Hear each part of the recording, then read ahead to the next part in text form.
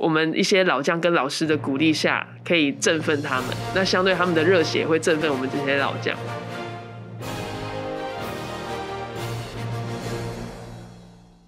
各位观众，欢迎收看《奥运故事玻璃斋》啊！我是这主持人就是麦陈宏仪。节目一开始，就马上就要介绍一下我的好搭档，那也就是我们的孙立群，立群哥。哎，大家好，叫哥就就知道我是老人了。我是奥会的委员孙立群，大家好。还有长幼有序嘛，对不对，立群哥啊？再一次确认是。不过今天这个节目一开始呢，哎，要请教立群哥一件事情，就是说，哎，那你打篮球嘛？对篮球应该是有非常大家都打深的涉猎啊。不过篮球大家应该都知道，合球你了不了？到这几年才知道合球这样一个运动，在伯明翰看我们那个合球队那个表现，才发觉说了不起，难度他妈比篮球还要高，凶狠的程度比篮球还要凶狠。其实啊，在这边也跟我们的听众朋友们报告一下，像合球这个运动啊，哎，其实长跟篮球有一点像。我之所以一开始会这么问立群哥，就是因为说，其实它跟篮球的某些概念是一样的。刚刚立群哥也提到说，我们在伯明翰，也就是世运会的时候哦，我们的合球代表队是拿下了铜牌。讲到这边，也刚好介绍我们今天这个节目的嘉宾。那他呢，就是这一次呃，我们合球代表队哈，我们这个铜牌战对上德国那一场，他还投进关键球，而且他是这个大会的得分后哦，那就是林雅文，雅文你好，你好，主持人好，大家好。其实林哥这边也要请教一下两位了，嗯，就是说合球这个运动，刚刚好像其实我觉得台湾可能很多民众对它是相对陌生，比起像篮球，但其实我们台湾在这个何球的世界排名不止这一次在伯明翰的世运会是拿下铜牌哦，我们排名世界第三，排名世界第一的是荷兰，那基本上合球这个运动就是从荷兰来呃起源的。那第二名是比利时，第三名就是我们。好，那请教两位，首先当然立群哥您先来哈，我们长幼有序嘛，一定要这样子，一定要一直讲的。为什么你我们台湾在合球这个项目有办法在世界上有这么的好的一个成绩，有一席之地？我我讲一句实话啊，如果你用合球的客观的条件来看的话，台湾会排到第三哦，你会觉得是不可思议，怎么可能一件事？第一个合球的技巧啊。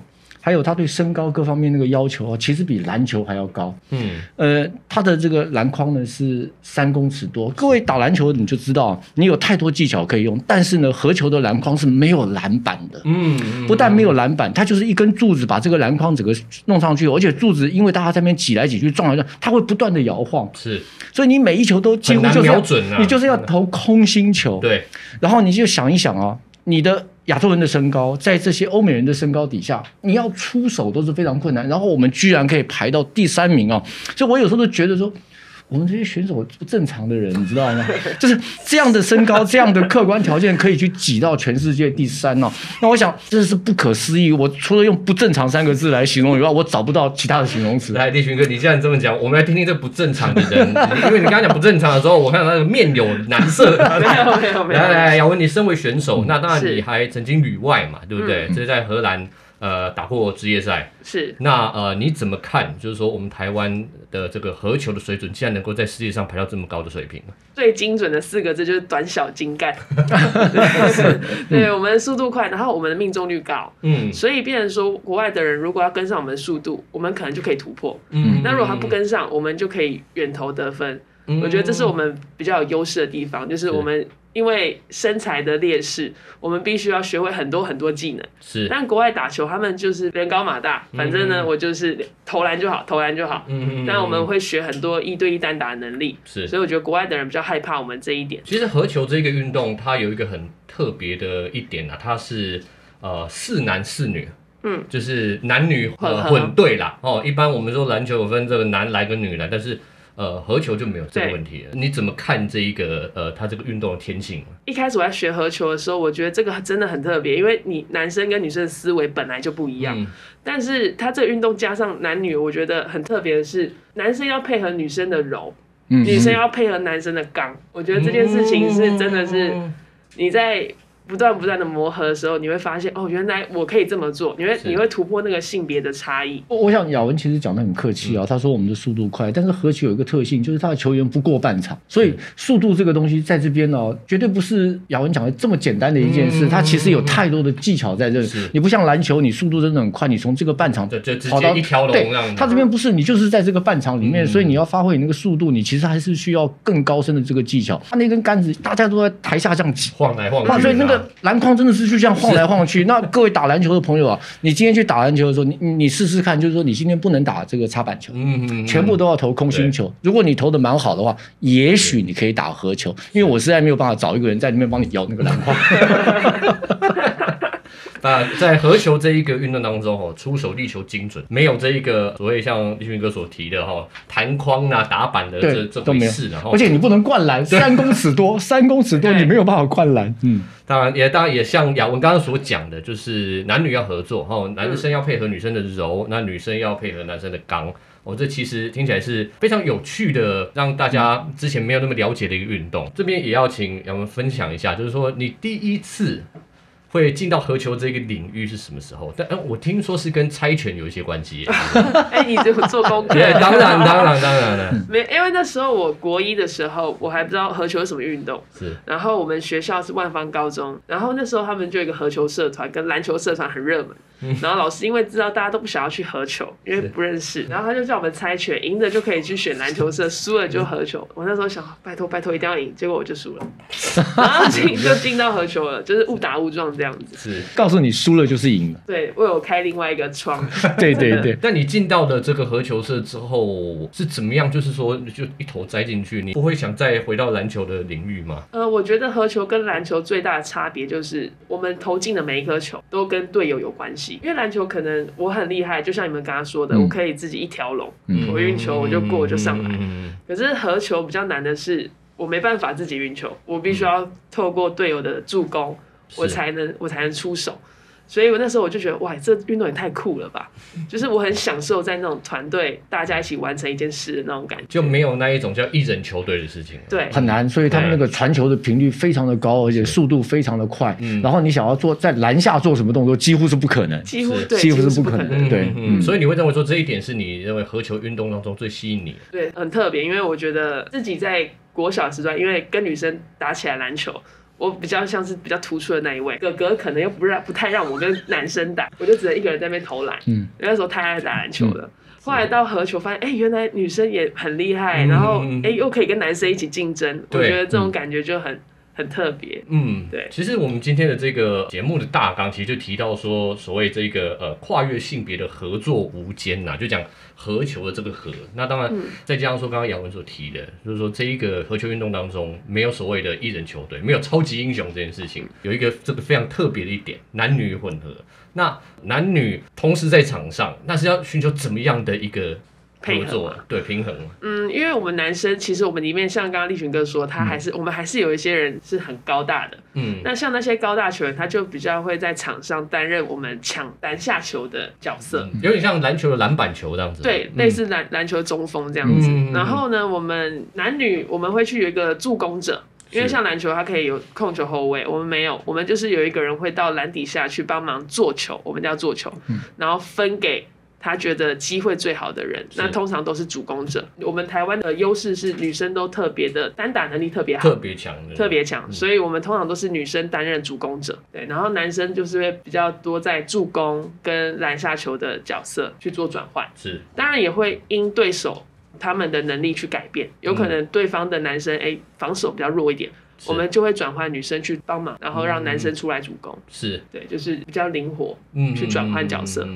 那其实我们这一次合球代表队哦表现相当的出色，拿下铜牌。这个铜牌其实也得来不易啦，因为毕竟我们在四强赛是先输掉了。那据说当时我们的全队的气氛是稍显低迷。其实我觉得所有的赛事当中，我觉得铜牌战应该是最难打的，因为你刚刚知道说你没有金牌可以拿，那再给你一次机会去抢那个奖牌，那。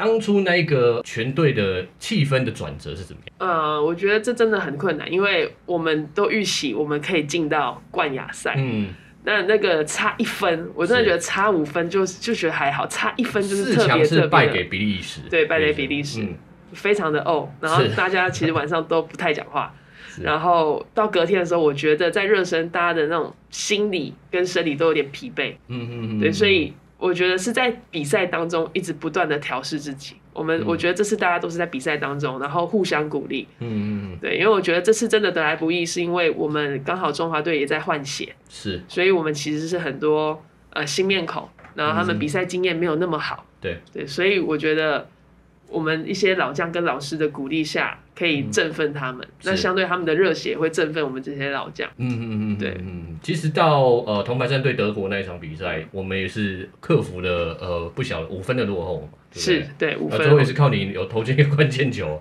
然后帮我们留下了一面奖牌啊。合球队呢，大概有几个情况是比较特别，第一个就是他们比较早就到那个附近，所以受到侨胞那边。很多的鼓励跟帮忙，甚至有亲友从其他的地方就飞到这边来。那个，所以何球在比赛的时候，他的拉拉队是最庞大的，对，是我们所有比赛里面最庞大。这是第一点。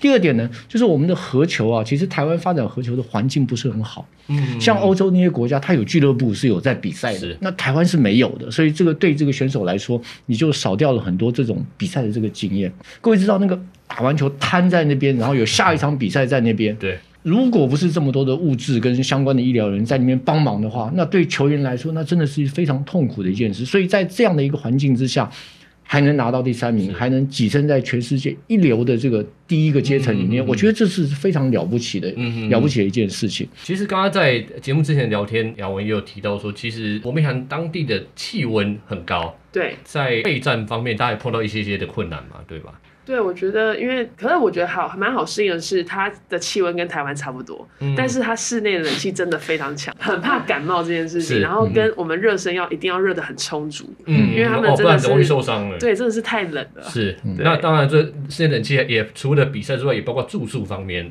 似乎 冷气也是让大家很不习惯。这个我们要特别谢谢奥会，因为我们那时候就觉得哇太冷了，他们他们那个那个。棉被根本不叫棉被，他们就是一个被单给你盖而已。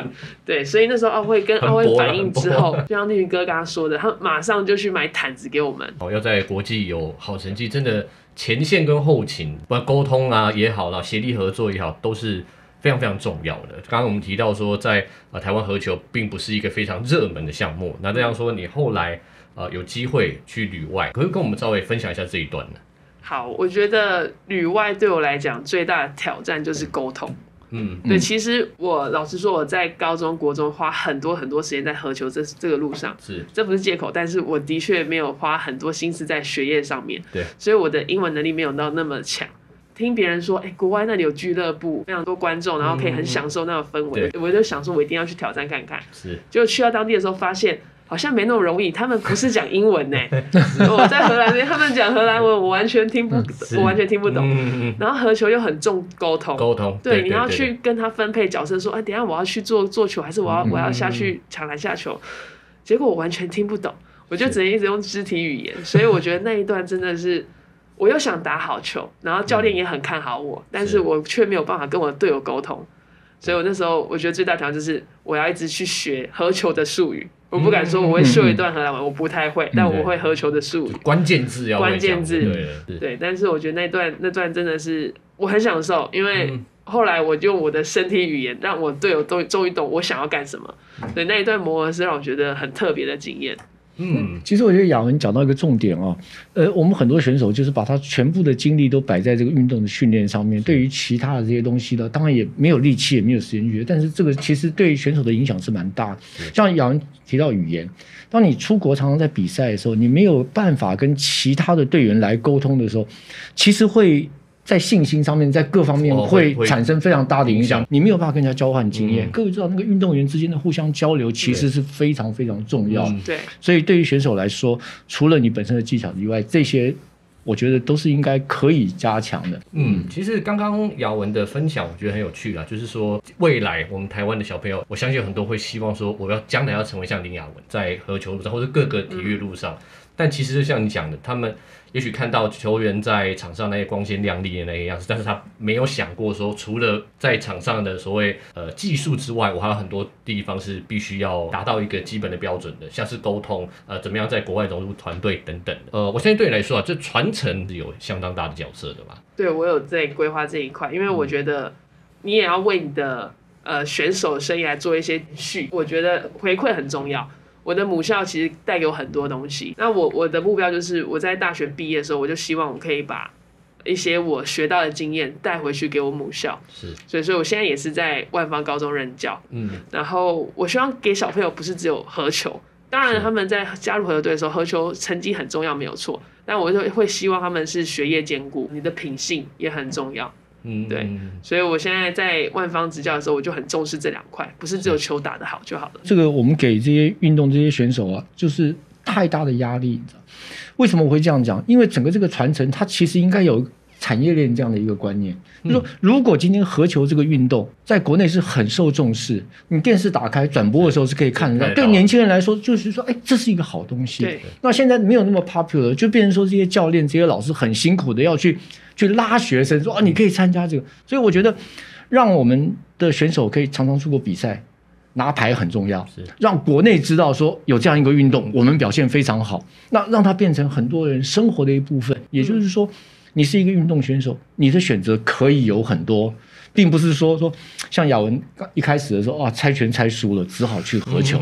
那如果有一天变成说我一定要猜赢，赢了我可以去合对球，对，对，我觉得要营造这样的一个环境。那当然，营造这样的环境，整个运动产业链，我觉得这是整个国人要努力的重要方向。是。我觉得立群哥真的是一锤定音呐、哦，让我们今天的节目下了一个非常好的注脚哦。也希望说我们全台湾的呃不止合球项目，然后大家持续加油。接下来越来越多哦，不管是年轻世代也好，大家越来越关心合球这一项运动。我们台湾在现在全世界是排名第三的。对不对？前五名当中只有我们一个呃亚洲的国家，也希望我们持续加油。那也谢谢大家的收听，这个奥运故事玻璃斋，我们下次再会，拜拜。加油！加油，谢谢。好，那同时呢，也要欢迎大家订阅频道并开启小铃铛，更多奥会的故事都在这里哦。